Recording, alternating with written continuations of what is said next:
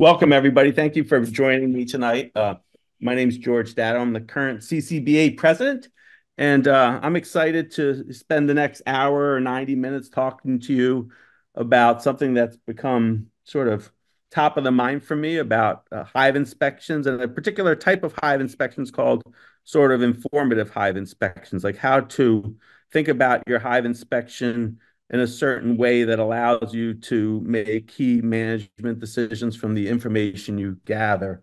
Uh, so we used to do a lot more of these in the past. So I I I want to start by saying that you know any CCBA member who who who thinks they have something to present to the group, uh, surely Donna would like to hear from you at meetings. But sometimes you know we can do stuff outside of meetings too. So if so, if there's somebody on the on the Zoom tonight who wants to talk about a particular topic or something like that, just let me know. And and surely we we'd like to do more of these Zooms in between meetings. So again, everybody's welcome to to present. Uh, a little bit of background on myself and why this topic has become sort of uh, important to me is that prior to about three or four years ago, I was an academic pediatrician. So part of most of my job was involved in in teaching residents, pediatric residents, how to sort of take care of, of sick kids in the hospital, right? So they they were with me for three years, where you know I was given the opportunity to to teach them how to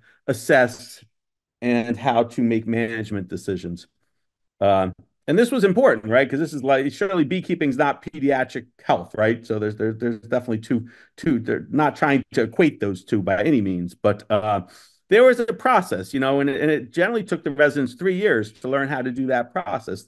Uh, and some were better after th- at the end of three years than others, right? So, uh, you know, it was important for me to to teach them because eventually, at night, the the most senior person in the hospital was often the third year resident at a certain point, right? At some point, the attendings get to go home. You figure like, okay, everything's stable Eh, whatever time it is, eight, nine, 10 o'clock, you're going to go home and get to sleep because you're no longer a resident.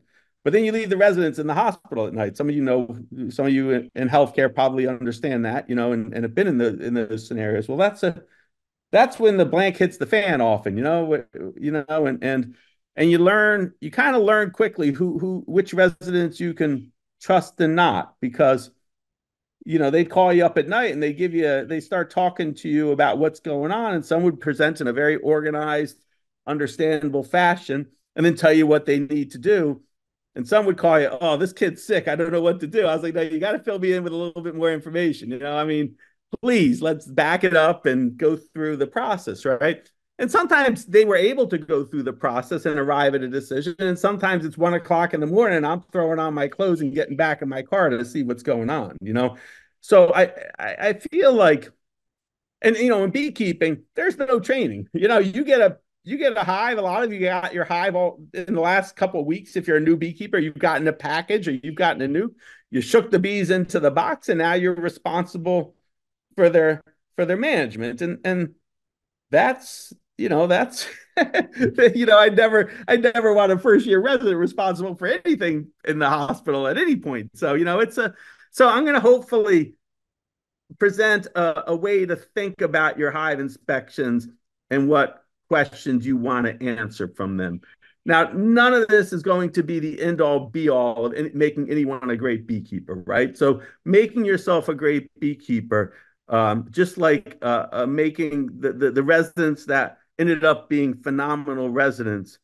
They read, they showed up, and they wanted to be involved, right? That, that's what made a good resident, honestly. They, they, they read their stuff, they knew their stuff, they wanted to get involved, you know, and and and they they they grew. And the same way with beekeeping, it, it takes years to really become proficient at this. You know, even good beekeepers, and I'll admit it, you know, I, I, those of you who know me well know I'll I'll be the first one to stand up and tell you all the stupid things I've done in my beekeeping over the years, and I've made some mistakes over the past year, some pretty big mistakes over the past year, honestly, on management decisions. So even even experienced beekeepers make management decision mistakes that oftentimes result in the hives dying, right? So I, I think if you're really good if you're really, really good about your management decisions,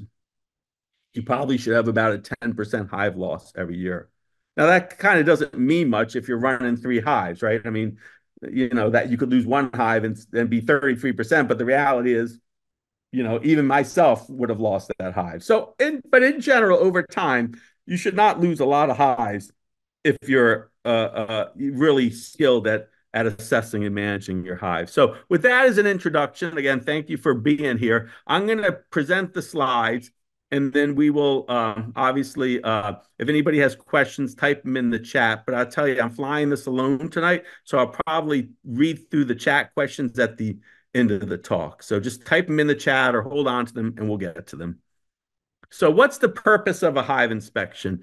Uh, uh hive inspections and, uh, are essential part of keeping bees. You, you you generally don't keep bees in a hive and and just let them be. Uh, there there may be some people that are practicing more natural beekeeping and maybe try to go into their hives less. But I even think natural beekeepers would agree that they need to go into hives and see what's going on.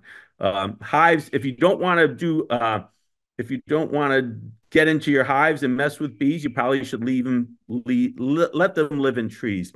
Uh, part of the hive inspection is assess what's going on with the colony, what's going on inside the hive, and then therefore inform you what to do. Uh, a lot of it is observational, you know, a lot of it is learning. And ultimately, this is a hobby for 99% of the people in the CCBA. And I would say almost 100% of the people in the CCBA, it's a hobby. Some of us would like to think we're making some money off beekeeping, maybe. A lot of us are spending money on beekeeping. Maybe some of us are making some money on beekeeping. But i think ultimately it's a hobby. You know most of us are have earned our income in some other way or, in some other thing. So you want to be able to say i'm having fun doing this because it because it is a hobby. So what's an informative like i'm, I'm calling this informative inspections why is it informative different than a, just a regular old hive inspection? Because when I'm thinking about informative, I want to collect information that's useful. You know, sometimes the residents at night would be telling me about the kids in fourth grade and gets all A's. I was like, yeah, that's nice, but uh, you know, I mean, we're we're two o'clock in the morning and the kids, you know, dying. I don't know if I need to hear about his social life at two a.m. But so you want to sort of think about information that's usable, useful, and information that's actionable. Like, can I do something about the information that I'm collecting? And lastly, which is a little bit harder to appreciate when you first start, is information that assesses performance, right? So you're kind of assessing performance of both the honeybees and the beekeeper, honestly, in some ways. So, what's going on in this colony? is this a good colony? Is this a good queen? Is this not a good queen? Is this a strong colony and not a good colony? Was this a right decision as a beekeeper, not a right decision? So that's all information driven, but you have to know what to collect. So that's why I'm calling it information. Now, everyone's going to say this to themselves in their head a thousand times. So when I talk about assessment, there's four things you want to assess when you go into your hive bees, brood, food, and disease bees, brood, food, and disease. So when you open that hive to when you close that hive, you should not close that hive until you're able to answer or assess or tell me or tell yourself or tell somebody about these four things in that hive. And we'll go into a little bit more detail about what how you describe and what you're looking for, but it's bees, brood, food, and disease. It sort of rhymes or something like that. So remember, it'll we'll come back to it. Now, there's four management decisions that are crucial. So I'm throwing the hard stuff up front. It's going to come back at you, but you don't have to remember it right now. But these are the four questions that will keep your hive alive. Number one question Is the size of your hive appropriate for the size of the colony? It's a very important thing and it doesn't get talked enough uh, about, right? So, those of you who just got bees, hopefully, when you got your package of bees that covers three or four frames, or when you got your nuc that covers four or five frames. You didn't load up all your boxes and put the little tiny starter colony in all these boxes. You know, I've seen it done. You know, that's too much, too much size, right? But hopefully, if you start your colony in a small box, when it starts to grow, you increase the size. So we'll get into how to make that decision. But number and number one is is the hive the right size? Number two is is your colony queen right? Number three, does the colony need to be fed? And number four is what is the mite count and intervention needed? So think bees, brood, food, and disease, right? They're the four things you need to assess. So you can kind of see how you're going to answer these four questions. If you assess the bees, you'll be able to answer is the hive appropriate? If you assess, assess the brood, you'll be able to assess if you're queen right. Assess the food. Does the colony need to be fed? And do you have disease? What's your mite intervention? So when to inspect? When to do a, an inspection? Um, ideal conditions for an inspection or basically today minus the minus the uh, the eclipse right? So you want you want your temperature to be 60 degrees you want a bright and sunny day and if you're retired midday is ideal. Uh, just because all the foragers are out and all the nurse bees are back and the hive's generally easier to work midday. What you want to avoid and sometimes you can't avoid if you're if you're running on a tight schedule, you want to avoid cloudy or rainy days, colder days, late in the day. You don't want to be wearing your black socks or just coming off, you know, having any scents on you because you're going to be more likely to have a difficult hive inspection, right? It's a lot easier to have a hive, uh, an informative hive this inspection when you're not getting lit up by bees, right? So even I, if a hive's nasty, I'm unlikely going to assess a very informative inspection. I just want to close it up and get out of there. So, but I think I think for the most part, if you if you pick your time correctly, you can have a nice condition to do a hive inspection. How often do you need to do a hive inspection? Um, you know, th- this is the time of the year, like March through May, where a lot of the key sort of decisions are being made. So you want to be in there more frequently surely once the, the the swarm season's done and the nectar flow is is over like in the summer um, you know maybe a little bit less frequently. And surely uh, once uh, winter comes you really don't need to be in your hives very often. Uh, now is there a problem with going into hives too much? You know because some new beekeepers and, and, practice makes perfect right? You're only going to be good at a hive inspection if you go in there and, and do it. Uh, Probably not. You know, every time you go into a hive, you do uh, you do put there is a consequence of going into a hive. You know, you have to disturb it. You're at risk for injuring the queen. Uh, the the organization of that hive is probably set back a little bit in, in their foraging ability and, and what the work they're doing in the hive. So but it's probably not going to necessarily compromise the the ultimate survivability or function of that hive if you go in there too much. So probably not. Uh, can you go in there too less? Absolutely. You know, you could leave your hive in the back and and not look at it for a couple months, and and that's probably not the best idea of of your management. So when I when I told when I taught the residents before you do a procedure, before you do something, the last thing you want to do is, and we used to do a lot of spinal taps, you know, and I said, you know, the last thing you want to do is go do a spinal tap and not have the right size needle. That's not a good situation when you're trying to do your your your work in the middle of the night, you know, and and sometimes you're just sort of running around and you're tired and, and, and you forget something. Well, same way with going out to your hive inspection. There's some very basic tools that you want to have uh, to make it effective, and you don't want to leave any of them at home for sure. So one is uh, some kind of protective equipment. I'm kind of known uh, for wearing not enough protective equipment, but what you don't see is that I always have all my protective equipment close by. So if I need to put on a jacket, I have it. But usually a veil is going to be enough for me. So you want some sort of protective equipment a hive tool is essential. It's hard to work a hive no matter what hive you have without a hive tool. A good smoker. Uh, I never, well, I shouldn't say I never because I do. Uh, but when I'm going out to work a yard, I always have my smoker lit. It's usually the first thing I do when I get to a yard is light my smoker uh, and have it close by. Uh, it becomes your friend, uh, especially if you're dealing with a hive that isn't very calm. I'm a big fan of a quiet box. So a quiet box is basically a nuc box with a number eight hardware cloth on the bottom.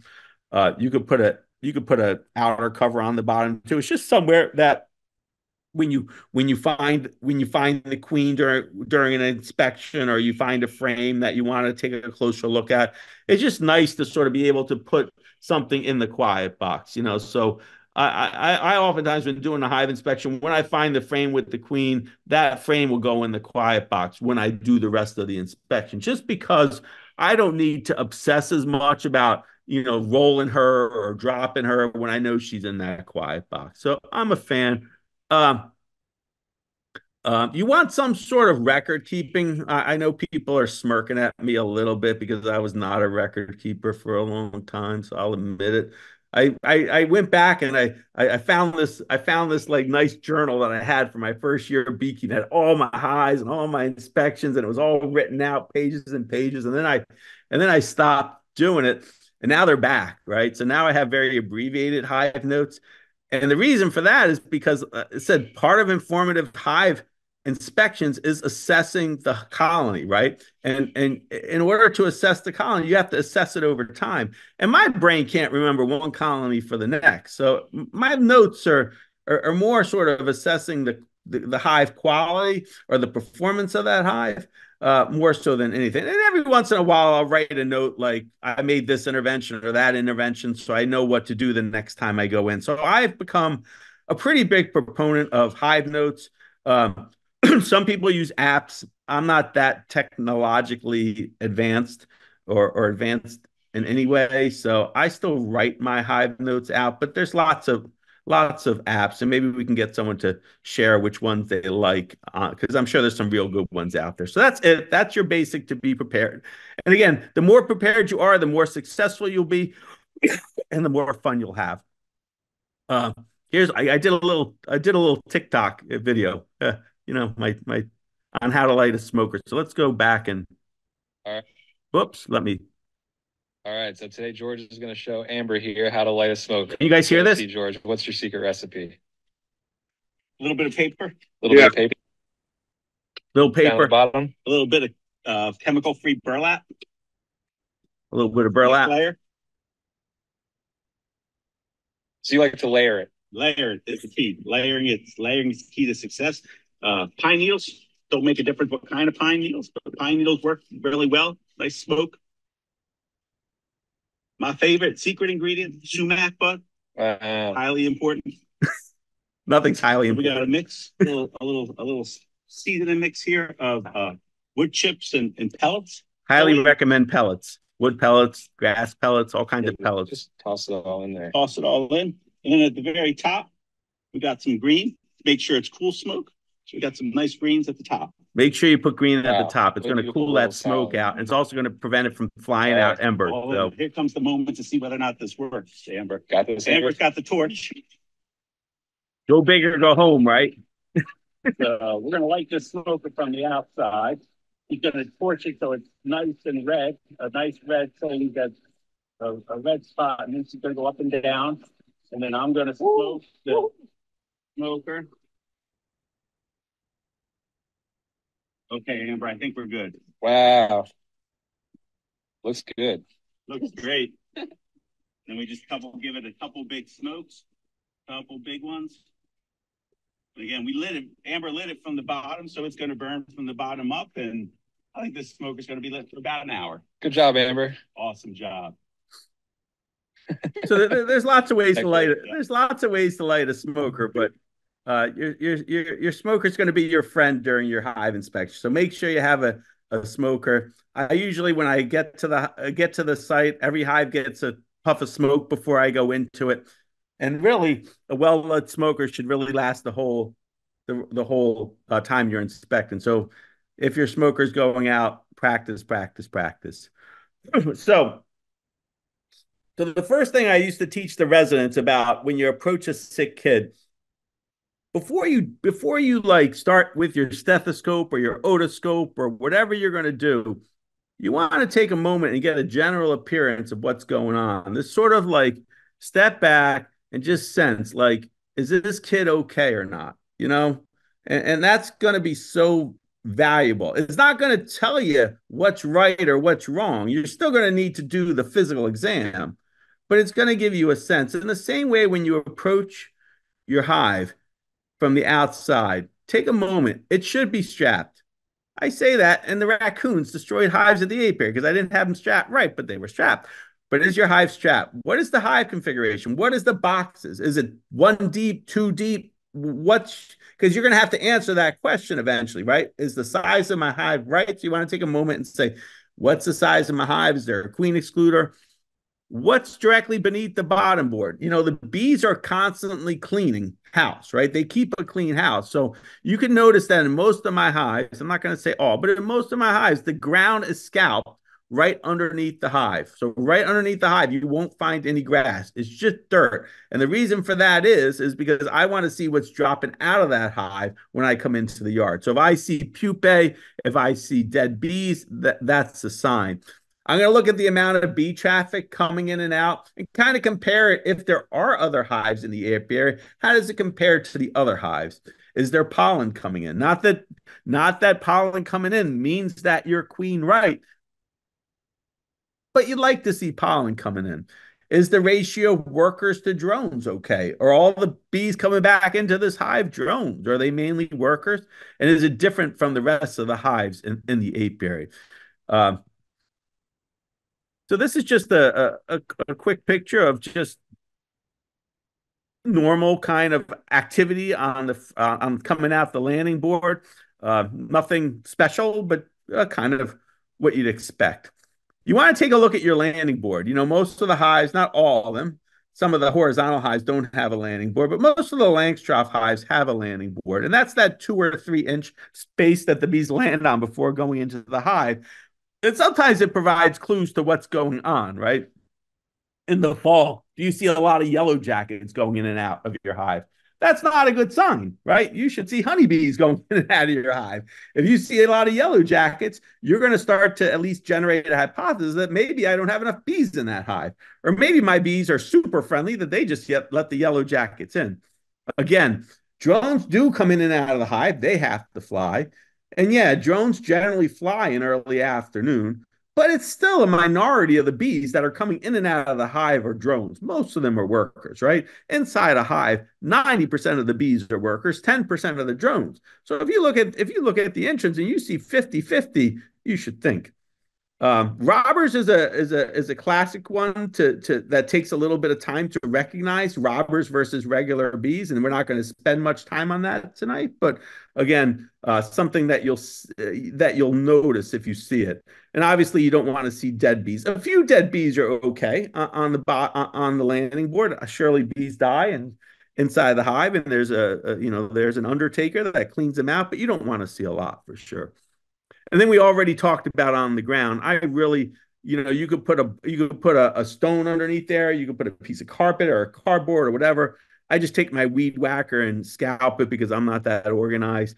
I find it useful just to see it. It's just to see if they're they're dropping anything out of that hive. And I, I was showing something on this hive. I think that this, that this was some pupae dropped out, and and I think that this may have been some chilled brood. Honestly, that ended up because the the the something they didn't have enough bee coverage and i think they were dropping some pupae now you could see that on hygienic bees you could see that on hive beetles. It doesn't tell you what's going on but if you start to see the pupae on the on the ground in front of the hive it it should raise suspicion. Some people use whiteboards. I tend to use more solid bottom board so i'm not a huge screen bottom board whiteboard uh, uh, user but those there's some people that are that are really good at uh, at you know pulling out it's kind of cool right? Before you go into hive you just pull out the whiteboard and you see what's there and, and it can give you some clues you know surely you could look at uncappings that's what you want to see right? Because bees are always either uncapping honey or the broods being uncapped when it chewed out when it emerges. Uh, sometimes you could see mites on on the whiteboard. Surely you could see small hive beetles and and it took me a while to recognize it's amazing what wax moth poop looks like. This is a it actually looks like mouse turds almost. It's amazing how wax how big the poop are of wax moth larvae. So you can see the brown cylindrical sort of things that you would initially think that was mice poop, but it's really not. It's it's wax moth. So this was a hive that I think had some wax moth damage going on. So I'm not a big whiteboard user, but if you're using them, take a look at it. Now we the, the whole idea, just like a general appearance is is just to generate hypothesis, right? You're not anything is really diagnostic from looking outside a hive, uh, but it can notice which hive is different it can slow yourself down. Make sure make sure you just sort of smoke all the hives. Take a moment to observe all the hives before you just sort of dive in and start ripping open hives. But it does not replace the the hive inspection because you do have to open your hives to manage your hives. You can't do it from the outside. Okay. So we're prepared we looked outside and now we're going to get into our hive. So here's the moment of truth and you're going to go back to i need to i need to assess four things. I need to assess bees brood food and disease. So let's talk about bees. Uh, as soon as you open a hive you're going to see bees hopefully. Uh, you may not. Uh, um, and, and you're going to notice something as soon as you open the hive about the bees. You're going to know uh, sort of what those bees sound like, what those bees' temperament are. Uh, as soon as you open that hive, it's worth it's worth noting, right? Because this is the assessment part of is is this a hive that I like, or is this a hive that I don't like working because they're awfully defensive?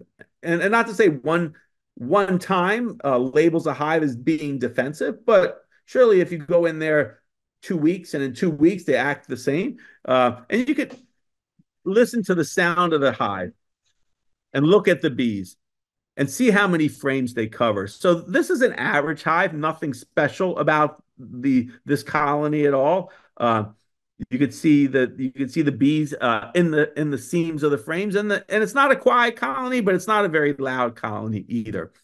So the next thing you want to do is you want to assess the quantity, uh, the quantify the amount of bees in the hive. Um, and, and that's generally referred to as frames or seams of bees, right? So when, when you when you hear people describe this, this is how many frames or how many seams of bees. And seams is the spaces in between the frames. So you can count how many spaces are filled with bees, or you can just generally look at the frames and say uh, that there are seven frames out of ten that have bee coverage on them. Uh, ideally, bees cover at least seventy percent of the frames on a in a hive, right? So if you're if you open a hive and half the hive is uncovered by bees, that's less than ideal. If you open a hive and every single frame has bees on it and the bees are rolling out of the hive, that may not be ideal. Uh, remember, there are about 2,000 uh, bees per frame if the frame is covered with brood. So if you're trying to do a, that's a deep frame, not a medium frame. So if you're trying to do a quick assessment of how many bees are in that hive. You know, it, you can count the frames of bees and multiply by 2,000, and you'll get how many bees are in the hive. And, and a frame of cap brood, uh, both sides, uh, if, if you have a frame of cap brood that's had brood on both sides, when that brood emerges, it'll cover about three frames. So just just sort of to think ahead a little bit, you know, a deep frame uh, when emerged uh, we'll have about 6,000 bees emerge on that deep frame if it's covered in brood. So just to think ahead about, you know, you're doing a hive inspection this week, but you know, if you see if you see four or five frames of fully capped brood, it gives you a sense of how many how much bee coverage that that brood is going to take up in in a few weeks when it emerges. Uh, so the general appearance of the bees. Uh, bees behave very differently, right? So if you look at enough colonies, you're going to notice that the the behavior on the bees is very different from colony to colony. Uh, ideally, when you pull that frame out of that hive, you want calm, very calm, purposeful, confident bees, right? You don't want runny bees. You don't want loud bees. You don't want smelly bees. You know, you want calm bees. You almost want to feel like the bees don't even care that you're there, honestly. Uh, and again, that's worth noting. Again, it comes back to assessing the hive, you want bees that are really calm. You can look at the, these bees.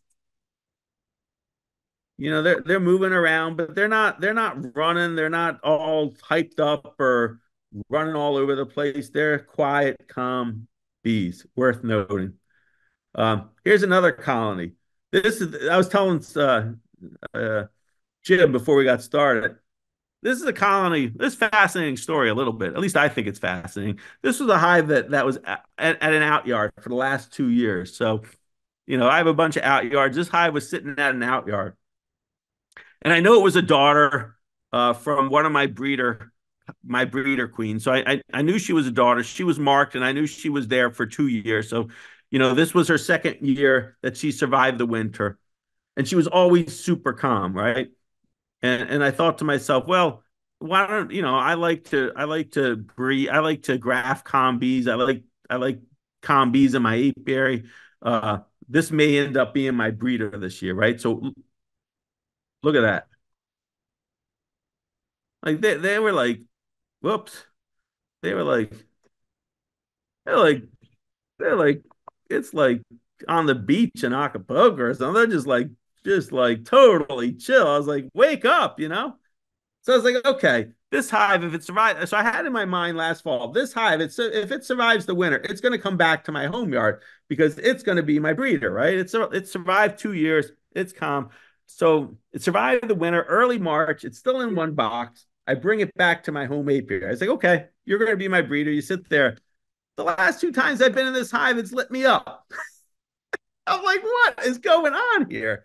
You know, and I'm trying to think. It's like, are they unhappy that they have a new location? It's the same queen. She's marked. I don't know. Anyway, but you know, this this is interesting because this eight, my home apiary is right on a road. So I was like, are they really upset that I've moved them?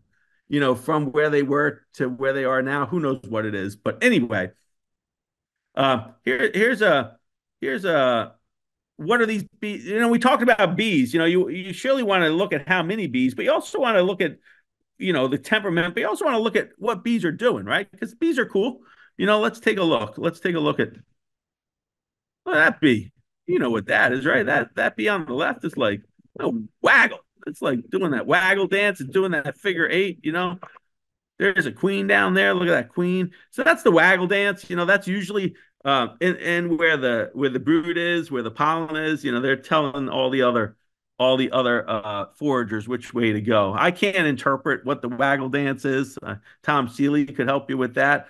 And that's been described. Not too cool, but it's cool to see. But this was cool.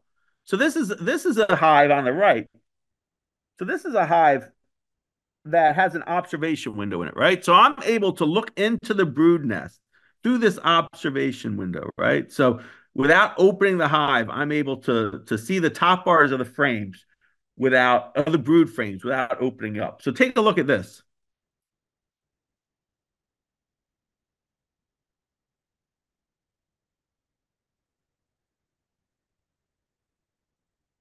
Notice anything? Let's do that one more time. That bee right in the middle. Look at what that bee's doing right in the middle. I don't know. Some of you may recognize it. To me, that looked like washboarding, right? So I always thought like, hey, washboarding always occurs on the outside surface of the hive, right? They're outside of the entrance. It's usually happening when the in the middle when the humidity starts to pick up and they kind of go up and down behavior on the outside of the hive, right? I'm looking at this bee that's sitting. So this bee's doing the same behavior with its front legs going back and forth right on the top bar. This bee's washboarding the top bar too. So I was like, okay, well, washboarding's just not a not a outside the hive thing. It's an inside the hive thing. Now I told you you should observe things that are actionable, right? Well, this is not actionable, right? So, but this is cool. I thought I'd show you something that was a little cool, maybe not actionable. That that's that they're washboarding inside the hive on wood too. So it has something else to do besides uh, something else is going on when they're doing that. Maybe it's just neurotic behavior on bees. Maybe they're just a little obsessive and they just have to clean. And they just, if there's a wood surface, they go back and forth over the wood surface. I don't know. But no one understands exactly what washboarding is, you know. But I'm convinced now it's it's not happening just outside the hive, it's happening inside the hive. So again, we open a hive, we got to quantify the, the amount of bees. We're going to look at what the bees are doing. We're going to look at the, the general appearance of the bees. But the question really that's important is do I need to change the size of my hive? Does it need to be smaller? i.e., it's going into winter, coming out of winter, post swarm. It's got a small hive beetle infestation. The hive is too big. It's too big. You know, the bees go coming out of winter at about 10,000 bees basically, hopefully, not my highs, but most highs are going to reach about 60,000 bees kind of mid May. and then they're going to go down to 10,000 bees in winter. To me, that means you got to change the size of the hive as it as the colony changes. One of the major things that I think people get into trouble with as new beekeepers is their hive grows, they make it big, they don't know how to do swarm control, the bees swarm, and then they're left with this small hive small colony and a big hive that they don't reduce. And then they and then hive beetles move in and then it just is the downfall to to to why new beekeepers lose so many hives. And that's preventable right? You can't prevent your hive from swarming but you can definitely take a post swarm hive and make it smaller. Now there are times that you need to go big right? There are times when you need to go big for sure. When the nectar flow is on in may I assume the nectar is going to flow at some point this year, not recently, but it looks like today was a little bit better, but rain's coming back. That obviously, you know, go big when the nectar flows on. You know, when you got a growing package or a growing nuc, get larger. But again, do I need to change the size of the hive to the number of bees? Okay, bees brood. The second one is brood. Uh, if you work with Jeff Eckel, Jeff Eckel's rule is I need to see three frames of brood. I think that's a good rule. You know, you want to, you don't need to see every frame of brood, but three frames of brood will give you a good understanding of what's going on. When you're looking at brood, you, you're both looking at the quantity of brood and the quality of brood. So there's three kinds. There's three kinds of uh, uh, uh stages of brood, right? There's the egg. Uh, eggs are hard to see. Uh, I, I, tell people they look like a grain of rice. Uh, initially, they're standing straight up, and then they lay down when they emerge to into a larvae. Uh, eggs are, are there for three days. Uh, if, if if your vision's not great, or if you're not using black plastic, they can be hard to see. Uh, larvae are six days. So larvae are basically the worm or, or the grub. Uh, you could see the progression of the of the stages of larvae uh, on this slide. So you could see at the top their eggs, and then the larvae kind of uh, are C-shaped, uh, are comma shaped, and then C-shaped, and then they basically get a, circle, uh, uh, and, and, nice and fat, and and that's six days, and then they're and then they pupate or they cocoon for 12 days. So it's easy to remember basically 3, 6, 12, double each one. Three days in an egg, six days in a larvae, and 12 days as a pupae. And you should be able to see all three stages of brood when you go into a hive to inspect. Now, a lot of people say they can't see eggs. That is true. Uh, and and and and if, if your vision is uh, like mine, not great, you know, sometimes it's hard, right? So uh, using black plastic foundation sometimes will help. So on your brood frames, I, I use black plastic foundation just to help myself out a little bit. And you want to inspect with the sun at your back uh, but honestly, oftentimes I'm just looking for royal jelly. So when I look at that frame, I'm just looking for that milky, shiny stuff that's on the bottom of the cell. And that's on day one larvae, you know, so you'll see royal jelly on day one larvae. Uh, and you won't see, you won't even see the larvae in there. But if you see that, you probably have eggs somewhere.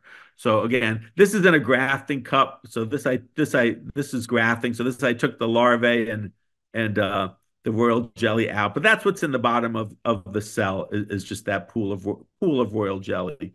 Uh, and that's a we won't get in, into the details, but that's also a good way to sort of assess the nutrition of your hive is to look at the amount of royal jelly. You know, if, if your hive is not making great royal jelly, it's nutritionally not adequate. If if, if your royal jelly looks like that, you're in great shape. Uh, and like I said, uh, seeing lung, young larvae is often good good enough if you can't see eggs. So most of us are familiar with the two brood types in a hive. There's basically worker brood and there's drone brood. Uh, the worker brood is flat. The drone brood is bullets. Uh, you're going to again see a 90, you know, 90% should be worker brood, 10% should be drone brood. Uh, most of the drone brood, unless you put a green frame, which forces them to lay drone brood, most of the drone brood is going to be on the outside of the brood nest. So you're going to see it on the outside frames. You're going to see it on the bottom of the frames generally. Uh, so, uh, why they stick the why they stick the drone on the outside? Maybe they're maybe they're able to because they're a little fatter, able to tolerate colder temperatures a little bit or cooler temperatures. So they go on the outside of the nest versus the worker brood on the center of the nest. Uh, I, went into a hive today and I was like, the first frame I pulled was was was drone brood. I said, okay, this is the outside of the nest, but it had a lot of drone brood on it. Well, the next frame I pulled it. excuse me, I'm getting over a cold. Drone brood. Next frame I pulled drone brood. I was like, oh great, there's a drone laying queen in there. But anyway, just too much drone brood. Uh, you, you, the more you do, the quicker you get at that. But I'm I'm looking at three frames of brood, and I should see 90% worker brood, and I didn't. Uh, so that's that's worker brood, drone brood, and then there's queen cells, right? Hopefully, you don't see a lot of queen cells in your hive, honestly. Uh, uh, but you're looking for them, right? You're you're you're looking for them, and Maybe you should look at more than three frames during swarm season, maybe, but yeah, three is probably enough. There's three types of there's three types of of uh and and and and queen cells look like peanuts basically, right? They look like a peanut that's hanging uh off the the bottom or or the or the surface of the frame. Uh, there are swarm cells uh, which are planned, uh, which are on the bottom of the frame and then there's emergency or supersedure cells, which are more on the face of the frame. And again, the size of the, the cells depend on the nutrition of the colony at the time that they were made. Uh, uh, 16 days to emerge uh, in a queen cell. So sometimes people say, I, I see a queen cell and there's nothing else around it. Well, that's a dead queen cell, right? Because queens emerge at 16 days, workers emerge at 21 days. So if you just see a queen cell and nothing, and it's capped and nothing emerged, then it's it's a dead queen cell. Uh, the queen. Everybody wants to see their queen. Uh, I do mark my queens uh, just because it gives me something to do, uh, and I'm tend to move quickly, so it makes it a little bit easier. But maybe I've gotten worse at seeing unmarked queens. Uh, queen is often found on a brood frame.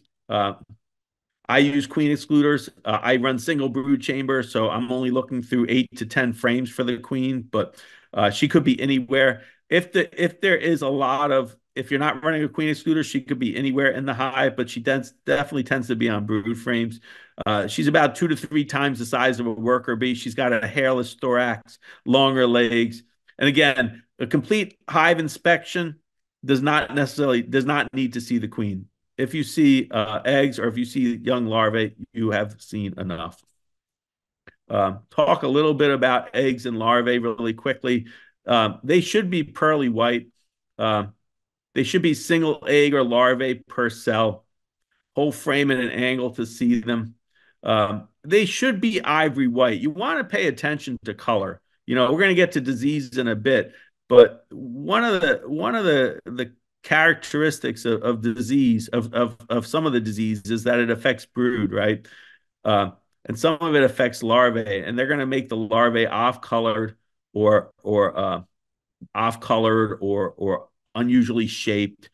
So you really want to glance at that larvae and make sure it looks exactly like this. It should look white ivory white.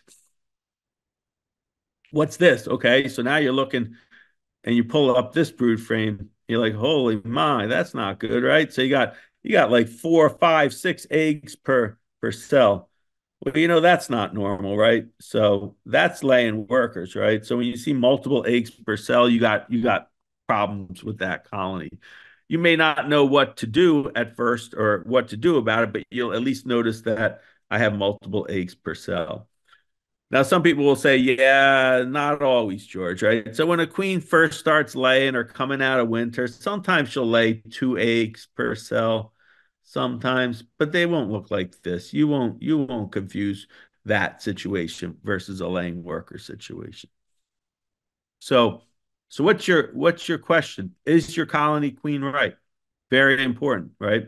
Is my colony queen right? Uh, when won't it be quite queen right? Post swarm. We're not going to talk about post swarm, but obviously, if it swarms and the queen takes off, it's going to be a little bit of time before the new queen starts laying. If the queen's injured during an inspection, if you see emergency queen cells, the queen's not right. A failed split, you may try to make a split.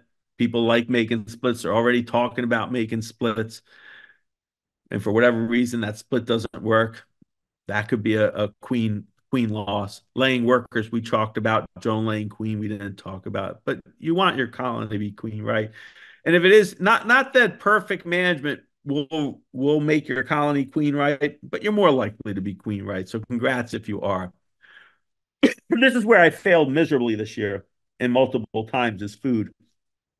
Uh, bees need food. We, we sometimes forget that, right? I mean, they're in a box, but yeah, they need food and their food depends on what's in the mile radius around the hive, right? So uh, don't don't overlook this important piece of it, right? That that the weather and the conditions sometimes will cause bees not to have enough food. So this is my own pollen sub. I, I was feeding bees like pollen sub, whoops, pollen sub and one to one. So you can see their little proboscis coming out and they're sucking it up. You know, they love food, you know. So you give your bees food, they're happy for sure. So that's um, so there's short-term food and there's long-term food, right? And and where you're going to see the food is is in the brood nest, the short-term food.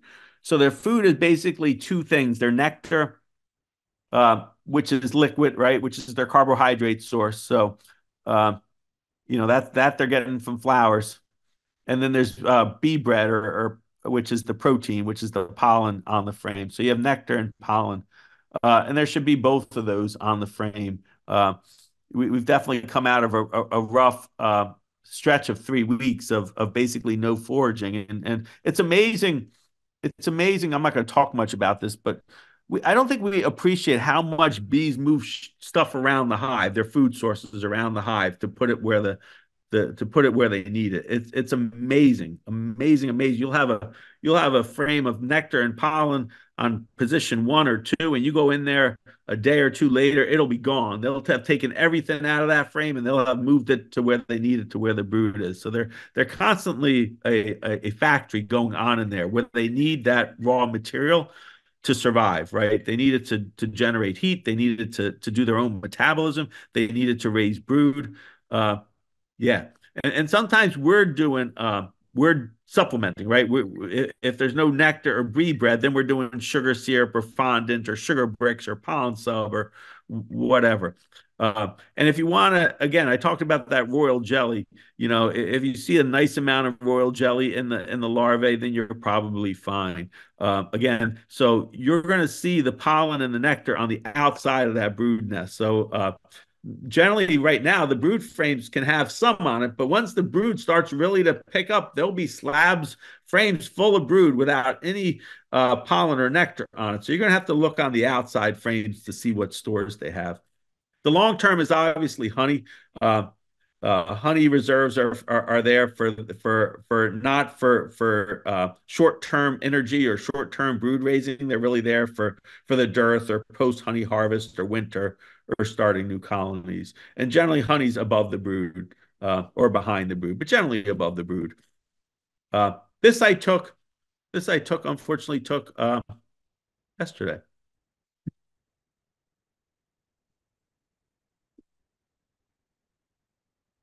So I went into this. I, I saw this hive. You know, I looked outside this hive. I was like, shoot, shoot you know, and some people would say that's poisoning, right? But that's not poison, you know, because the bees are stumbling and there's dead bees at the hive entrance, and it looks like the bees have been intoxicated with something, and these bees are starving. So this, this is starvation, unfortunately. So this is a hive that that probably was compromised, probably for a few days, if not longer, and then just ran out of food yesterday, and uh, I missed it. So this is this is what you're going to see outside a hive. Uh, on on a starving hive. So so food. So assess food. What's your manager says, and do I need to feed? You probably need to feed when you're starting a new colony. I always say when you're when you're starting a package or a nuc, feed them for a couple weeks. Probably a good idea, especially if you're asking them to draw a comb if there's a dearth, which usually happens in the summer, maybe this year all this rain will cause our clover to bloom basically all summer, and there won't be a summer dearth. We'll see. We don't know. Got to be you, you honey harvesters, me included out there. You got to be careful, right? You got to be careful how much honey you take because they need something. They need something, especially when we're harvesting honey and they're going into that dearth and their colonies are big. Think about it. Uh, you you may need to prep for winter. We're not going to talk about that, but the colonies definitely need so much carbohydrates to survive the winter. And this year, coming out of winter and early spring, when when when the weather sucks, basically three weeks, you know, two to three weeks of no flight days and cold weather, they're going to run out of food quickly. Uh, no, when there's plenty of food sources in the hive and the sun is shining, you're okay. There's no need to feed, or when you or when you uh, assess the weight of that colony in winter and it's 80, 60, 80 pounds, they're fine. You don't need to feed them. They're going to be okay. Lastly, bees, brood, food, and disease. This is the hardest one for new beekeepers, but it's important. Uh, every every time I'm in a hive, I'm doing a, a unconscious or conscious assessment for for disease. Uh, again, I always tell the residents you have to look at a lot of normal before able to recognize abnormal. So uh, a, a, a, field guide is helpful, you know. So Penn State puts out this uh, honeybees and their maladies available on Amazon. I think we sell it to at meetings for like 12 or 13 bucks or something like that. Definitely worth having. Uh, I, I, think mentoring is key a, a, lot. You know, Jeff Eckel's coming to inspect my yard. I look forward to it every year because I'm going to learn something about disease recognition uh, from him. Uh, so there's brood brood diseases and bee diseases. So when you're looking for disease inside of the hive, you want to be looking at brood and at bees. So if you look at the hive on the the, the frame on the left, it, it violates the the you know the first thing I tell you, larvae should be pearly right white, right? So you're looking at this larvae and it's not white, right? It's like brown, tan. And if you look sort of uh, uh, at some of them, they're not C-shaped. They're kind of like squatted in the bottom of the cell, right? So you don't see she shape, you don't see pearly white larvae. You don't necessarily have to know what this is. You just have to know that it's not normal, right? So I need to sort of take a picture of it with my phone, or I need to, you know, get my guide out to look at what what brood diseases there are. But this is European foul brood. So the, the the the the, discoloration of the brood and the corkscrew brood is foul brood.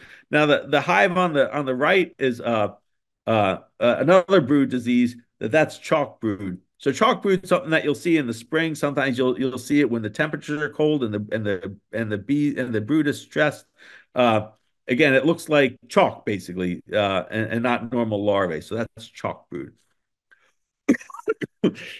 excuse me, I'm getting out of this cold. So then you want to look at the, the bees too. And again, you're just scanning. And you're not going to pick this up when you're new, but if you scan enough hives, you're going to pick up things. Now, all all hives are sick. All hives are sick. All of them. It's just the degree of how sick are they, right? Sort of like me. I got a cold, cough. I'm sick. I'm probably going to live tomorrow because Mm, I don't know why, but so far so good. But you know, same way with bees, right? You know, all bees. If you look at if you do PCR uh, on a, on a hive, you're going to see deformed wing virus on low levels in most hives, right? But they're not. You're going to see nosema in most hives, but it's going to be at a level where it's not going to affect the overall bee population and, and cause that hive to crash but it may if if if if you see a certain number of bees or a certain percent of the bees uh, becoming infected. Now, if you look at the picture on the left, you're going to see that this bee looks different than the rest of the bees, right? So what do you see? So you see a bee that's kind of its thorax looks like a queen, right? So it's shiny, right? We already said queen thoraxes are shiny. This all the other workers, well, most of the other workers have hairy thoraxes. This queen is this worker bee, not a queen. Worker bee's got a, a thin, uh, uh oh my goodness, coughed too hard and I compromised blood flow to my brain. Has a has a shiny thorax, so that's abnormal. If you look at this this uh, worker bee's abdomen, it's sort of short and stunted, and it looks greasy and and you can see that there's a there's sort of a bee on the bottom left that's sort of working on looking like this too. This is something called chronic bee paralysis. So this is a chronic viral. Uh, is it viral? I think it's viral infection. Uh, usually you'll see a few bees like this, but sometimes it can it can really overtake a hive. Greasy, shiny, hairless bees. You think chronic bee paralysis. This is not going to be a talk on chronic bee paralysis but it's a talk on on making disease as part of your hive inspection. This one uh, on the on the right, you can see the the bee in the middle, right? That's uh hopefully you guys don't see much of this. Uh, uh, this is uh, deformed wing virus, right? So you're going to see these wings that are that are really shriveled uh, up, and and that's just a very sick bee that can't fly. Uh, you may when you start to see a bunch of deformed wing virus, you definitely should be concerned that that uh, that your your bees are going to be in trouble. So again, when you're looking for disease, you're looking at you're looking at brood and you're looking at bees. But the most important thing to to screen for disease is to know your mite count. Is to is to measure mites, and and you really should be measuring mites once a month, starting in May, maybe June, definitely, maybe May. Uh, it's simple to do. Uh, there's no reason not to do it. Um, it's going to really, it's really going to give you the information you need to not fall behind on disease in your hive, right? So, uh, there's lots of, of, videos out there on how to do a mite count. I use uh, Dawn dish soap, one tablespoon per half gallon of water. I used isopropyl alcohol for a long time, but Dawn dish soap seems to work, and everything in beekeeping is getting more expensive. So I go with the Dawn dish soap method. You basically collect half a cup of bees in a mite washer. You cover the bees with the wash liquid, you swirl for a minute, and then you count the total number of mites on the bottom of a cup and divide by three to get percent mites, number of mites per 100 bees. Simple. Again, we'll probably have more tutorials in May and June about how to do this, but once you do it once, it's simple. Uh, so really, when you think about disease, I mean, you can see all kinds of things, but really it comes down to what's your mite count and do I treat? So if your mite count's greater than 2%, which would be six mites on a mite count, you definitely should treat. If it's between 1 to 2%, it sort of depends on what season you're in and beekeeper preference. If you're less than 1%, probably no. And if you're at 0%, congrats. Your, your hive's doing really well not to have any mites on a mite wash. Uh, again, monthly thing May, June, July, August, September, October. There are some people that, me included, that universally treat independent of mite counts. I don't think it's the right thing to do. I think the right thing to do is do mite counts monthly. Even if you're going to universally treat, you should know what your mite counts are.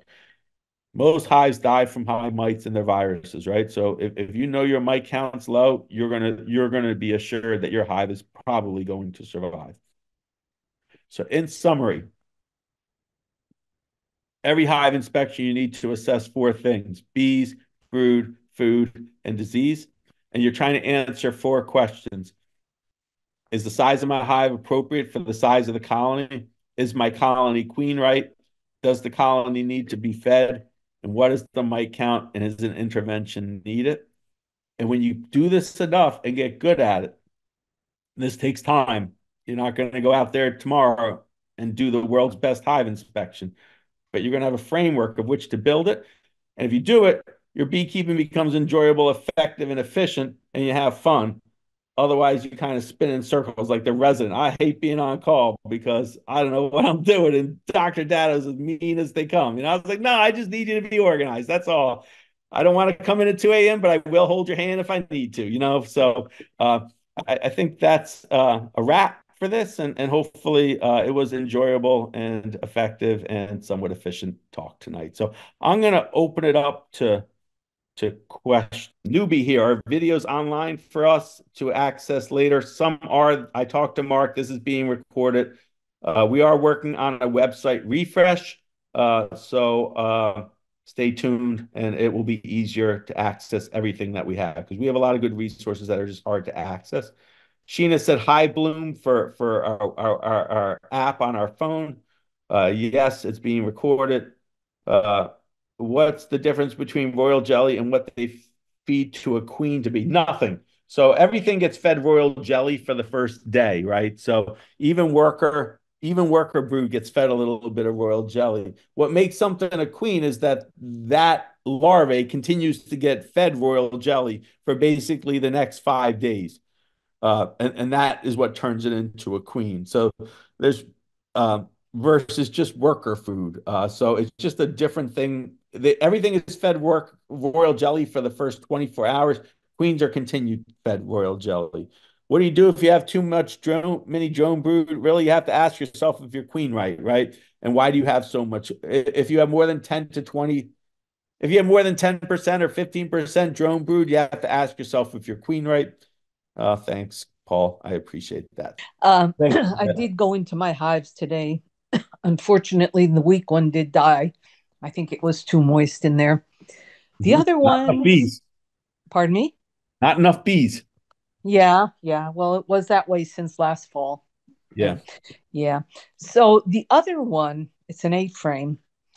And the bees seem to be, you know, okay now. There were, I don't know, uh, I, it's only two deep, one, I mean, two boxes, one deep, one medium. And I basically, the medium is a honey super on top. The sure. problem is there's bees in there, they're active, should the queen be laying by now? Because I couldn't find any evidence of laying in. Of course, I didn't see the queen. Yeah, no, the queen definitely. You definitely should have brood in the hives at this point. You know, so if your if your hive has no brood in it, I would be suspicious that you you're not queen right. Uh, uh, yeah. So I don't. You know, I had a hive. It's interesting. I had a I had a hive that came out of winter that did the same thing, and I didn't I didn't have a queen to fix it. So I I, I don't know. I just ignored it. I was like, it's going to turn into a laying worker. I should shake it out. But you know what? It, it eventually dwindled and it never turned into a laying worker. It just dwindled. You know, and I don't know why these workers never decided. I mean, there was no brood pheromone, right? But why did mm. Why did these winter bees, right? Because they they the queen died at some point in the winter. Why did these winter bees not start laying unfertilized eggs? I don't know the answer. So I suspect, Bernadette, that you have the same situation. But I so, don't know why you don't why they're not turning into laying workers. And I don't know. I've never really thought about it that much. Do, do winter bees? I would assume winter bees have the capability. They have ovaries. They, I assume they have the capability of lay to laying unfertilized eggs, but I don't know why they don't. But I would assume your hive is queenless, Bernadette. Okay, so you think that it's just uh, the um, bees left over from overwintering that are still in there, and as I said, it's not booming, you know, but there were like three or three or four seams of bees in there, and uh, but they seem healthy. It's just I cannot find any brood at all. I of course can't see um, yeah, uh, eggs, and I don't think I saw a larva, and if I did, there was like less than a handful. Yeah, I assume you're queenless. Sorry, Bernadette. Okay. Thank you, George.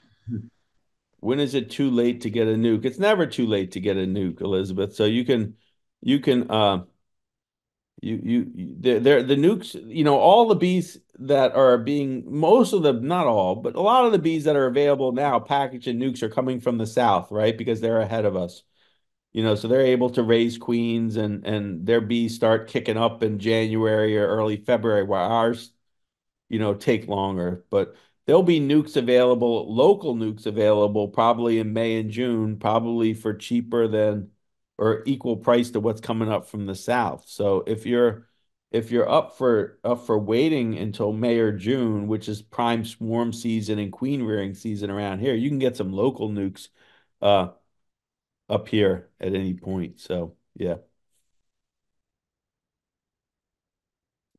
And and and you know, we'll go into making your own nucs, right? So again, I didn't do that as well as I should. I have too much on my plate, maybe, but June is the month where where where we really focus on making splits and making nucs to overwinter up here. So you know that you have you always have that extra hive in your apiary just in case, right? Even with good informative inspection. Sometimes our management is not ideal. So it's always nice to have a nuc or two as as in your back pocket so you're never totally beeless coming out of winter. What do you do with package bee boxes? That's a great question. Uh,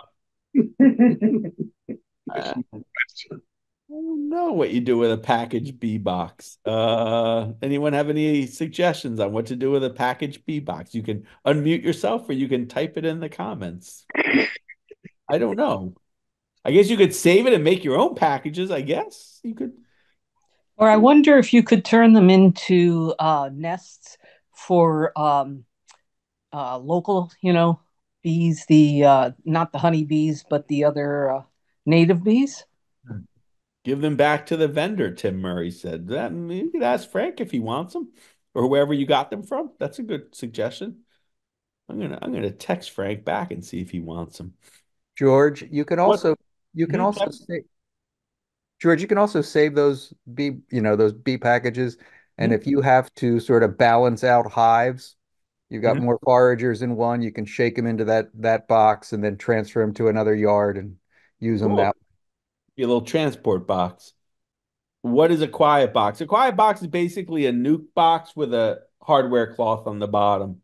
So it's basically just a, a, a an extra box that you bring with you to do your hive inspections. Where if you pull a frame and the queen's on it, you just stick you stick that frame in the in the quiet box, so it's safe while you do the rest of your inspection. So, I I I think I I picked up that term from someone. I don't know if that's a universally thing or that's a local thing that they call it a quiet box. I'm not sure. But that's not that that was stolen from a, a previous beekeeper in the CCBA. So uh cool. Bill Scott says he uses packages. Thanks, Bill. Uh in the garden to put my sprinkler on to get them higher than the greenery. Quiet crowd tonight. I worry about that. I hope this was helpful. I had a question with Yes. about um, identification. Um, you recommended that that Penn State field guide. Is there other resources that anybody might might have to help somebody become better at identifying drones versus workers versus different, you know, larva stages? You know, there's the Bee Informed Partnership. I don't know if they still exist. Um, but that's a good website that they have a lot of visuals on there. Um, You got some, Dan. Anybody else have thoughts? You can go to University of Guelph, G U E L P H, University of Guelph. They have a lot. They're a university in Canada and they do a lot of bee education videos that are really well done. So if you're looking at, if you're looking for quality, you know, sort of sound uh, stuff related to bees, that's another good place to go. Uh, uh what's uh do Dr. D- Dewey who who talked has a has a great book out a visual sort of atlas like book uh, on bees uh uh Dewey Caron, Dewey Caron yes thank you. Uh that sounded like uh Donna. Don, Donna, yeah. yeah I, I recognize that bee chat voice. Yeah Dewey Caron honeybee I forget what his book is called Honeybee biology. Honeybee Biology. I think that's a really strong book with a nice amount of visuals in it. I, I, I really strongly encourage people to get local mentors. You know, like I think that that's just a, a huge uh, way to to learn anything, right? Uh, I'd like to think I taught some residents something over three years, you know, but uh, yeah, it's it's that work individually with the with the mentor that's key. Can you talk about when to move resource frames around? Yeah, so I was doing that today. Um, um, you know, you can as long you can move food frames and brood frames between hives. Uh, you don't want to move queens between hives, but once you sort of have your queen identified and and and in a quiet box, you can move whatever you want between hives. So surely when you're doing your assessment and you're and you're seeing if, if if the hives have enough brood or enough food, if they don't, you know, one of the one of the interventions that you could do is take from a strong and give to a weak. And, and that's a really effective thing to do right now because you're you're making the weak a little bit stronger and the strong you're sort of delaying the swarm impulse a little bit by stealing some brood out of the strong and giving it to the weak. So feel free. The only thing you the only thing you got to be careful of one is not to move the queen and two is not to move disease around, right? So usually the disease pressure is pretty low in in in March and April. Uh, but you just got to be aware that you know you could be moving a small hive beetle infested frame from one hive to another hive, or you could be moving a frame of uh, a completely packed with mites from one hive to the other hive. Again, that's not a huge concern in March and April as it is later in the season. But yeah, no, it's a great way when you're doing your brood inspection and you notice something that's a little deficient in one hive, how to how to boost it up without with just taking from the strong and giving to the to the less strong. I hope that answers that question. Can you freeze mites? If you find you, you have a frame of mites and you don't want to get rid of everything, can you frame can you freeze it? Yeah, I mean, people that's what people do with their drone comb, IPM drone comb, right? So they, they put drone comb in their hive, right? And they wait until all the drone drones are all capped, and then they pull that frame out Yeah. and basically just freeze it, right? So they kill all the mites on that drone comb by freezing it. So it, it's it's it's a really effective way at, at at least early on to de to decrease your your mite burden in your hive, you know, by doing drone comb. I I, I don't do it, but if I if I had two or three hives, I would for sure.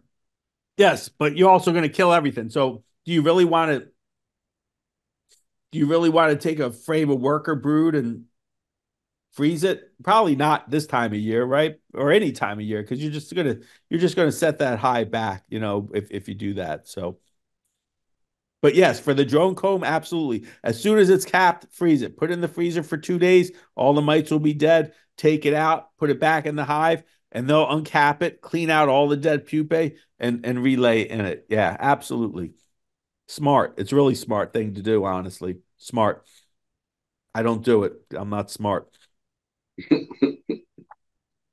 Lazy. Any, we got 12 more minutes. I didn't want to keep people past nine if there's other other questions You have any questions? Or any other thoughts. Or I'll take some thought, you know, um if you want if you uh, if if you want to send me um send me an email or or give me your thoughts on what you thought of this useful or not useful you don't have to but uh, again this is the second time I'm doing this I'm I'm trying to work on making it a little bit better because I think it's an important I think this organization of your approach on a hive inspection is really important you know, and I hear it on B chat on Friday night sometimes. Like Bernadette did, did a great exam. She she she did great tonight. She said, you know, I got a I got a hive. The size is a deep and a medium. It's got three frames of bees and no brood. Right? I mean, that's perfect. That's a perfect A plus description of a hive inspection, right? She covered the bees, she covered the brood, she covered the hive size, she covered the food, and then I was able to pretty confidently say, Bernadette, I don't think you got a queen, right? So it's it's amazing when you can get your before you close up, just practice it before you close up that hive. Can I tell if if I was somebody was if I was on B chat on Friday night, could I tell somebody what was going on in that hive from bees, brood, food, and disease? You know what what what is it, and and do I need to change anything?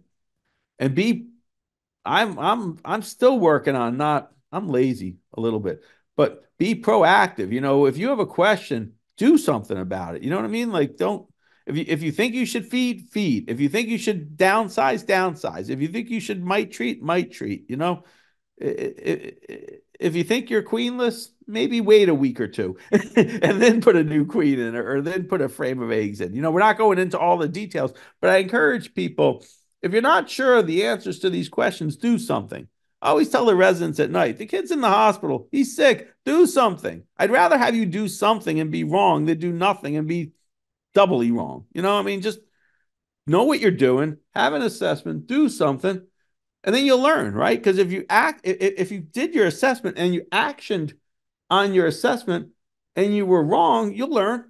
Or if you're right, you'll learn. You know, but you'll learn. If you do nothing, you you I, I feel like I'm back lecturing people at 3 a.m. in the morning doing doing uh doing call. But yeah, you'll learn, you know. Okay, follow up question then, George. Yes, um, the hive was fine last year. It was productive. Hmm. Uh, when I went, you know, I did the dribble. Every time I checked it, uh, it was good. Now it sounds like the queen is gone. So what happened to her? Yeah, no. So she got lost some point during the winter, I assume. Did she get too old? Did I mean, you know? Yeah, and they probably tried to replace her at some, or maybe she got, maybe she died during the winter, and there were no eggs in the winter. You know, did did did she die in the winter, or did she? I mean, it obviously had a good population of bees in it if it survived this long, right? So she must have been there in the fall, you know. So she laid her winter bees, right? Yeah. But did they try to supersede her late, and then the and then the supersedure failed, or did she, or did she just die over the winter and then? Yeah. And I, I guess the, yeah, workers. I don't know, Bernadette, but yeah. My I had, I had a hive that did the same thing. You know, it, it came out of my first inspection was early.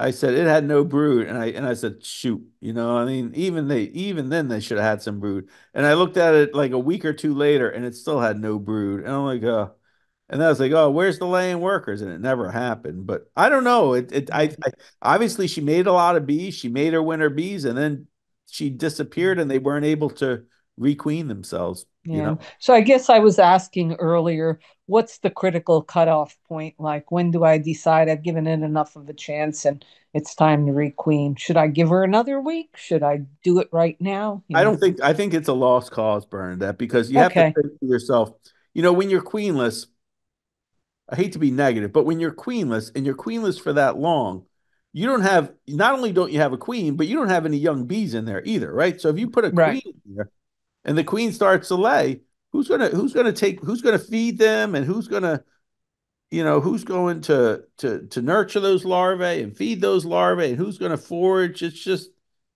it, you, you not only at this point not only do you have not have a queen problem but you also have a a, a, a unbalanced population of bees. You basically got a, a whole bunch of grandmother bees that have survived the winter who are basically just hanging on but aren't going to be aren't going to be useful to a to a new queen i don't think Okay, that helps, George. Sorry. Thank you. no i hate to be negative bernadette No, no, it's reality. Thank you.